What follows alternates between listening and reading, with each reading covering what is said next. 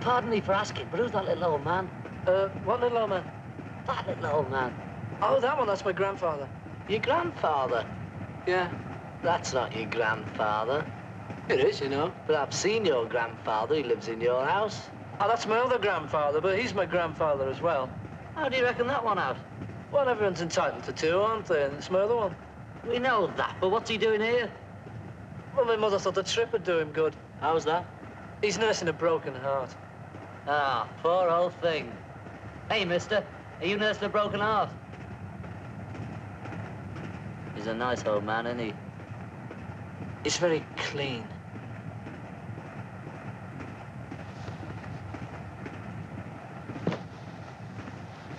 Hello, grandfather. Hello. He can talk then, can he? Of course he can talk. He's a human being, isn't he? Well, if he's your grandfather, who knows? And we're looking after him, are we? I look after myself. Yeah, that's what I'm afraid of. He's got you worried then. Him? He's a villain. A real mixer. And he cost you a fortune in breach of promise cases. Get on. No, straight up. I am. Hello, Shake. Hello, Shake. You got on all right then? No. Oh. Well, we're here. Norm will be along in a minute with the tickets. Hey, who's the little old man? It's Paul's grandfather. Oh, I but I thought... Uh... No, that's his other one. Oh, that's all right then. Clean, though, isn't he? Oh, aye, he's very clean. Morning, lads. I know. morning, How's it Norm. going? Thank God you've all got here. Look so. Now, look, I've had a marvellous idea. Just for once, let's all try to behave like ordinary, respectable citizens. Let's not cause any trouble, pull any strokes, or do anything I'm going to be sorry for. Especially tomorrow in that television theatre. Because... Are you listening to me, Lennon? You're a swine. Isn't George? You're a swine. Thanks. Hey! Who's that little old man? Man. Well, who is he? He belongs to Paul. Oh, well. I'm going down for a cup of coffee. Anyone coming? We'll follow you down.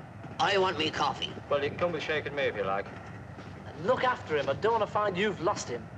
Don't be cheeky. I'll bind him to me with promises. Very clean, isn't he? Come on, Grandad. Make it for mine, will you?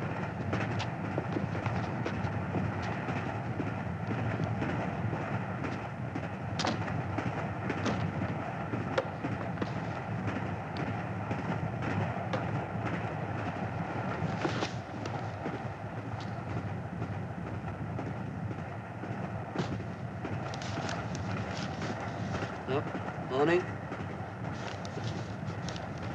All right.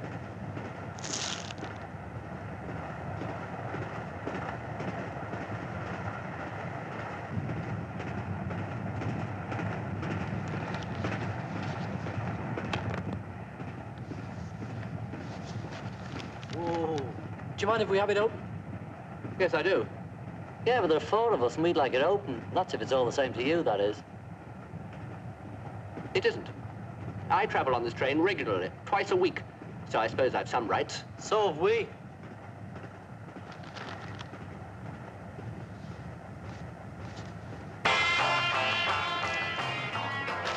And we'll have that thing off as well, thank you. But uh, an elementary knowledge of the Railway Act would tell you that I'm perfectly within my rights. Yeah, but we want to hear it. There's more of us than you. We're a community and majority vote up the workers and all that stuff. Then I suggest you take that damn thing into the corridor. Or some other part of the train. Where you obviously belong. Give us a kiss. Look, mister, we pay for our seats too, you know. I travel on this train regularly, twice a week. Knock it off, Paul. You can't win with his sword. After all, it's his train, isn't it, mister? And don't take that tone with me, young man. I fought the war for your sort. I bet you saw you won. I shall call the guard. Ah, but what? They don't take kindly to insults, you know. Come on, let's go and have some coffee and leave the kennel to Lassie. Hey, mister, can we have our ball back? Back, mister! Good ball! Mister! Keep going! We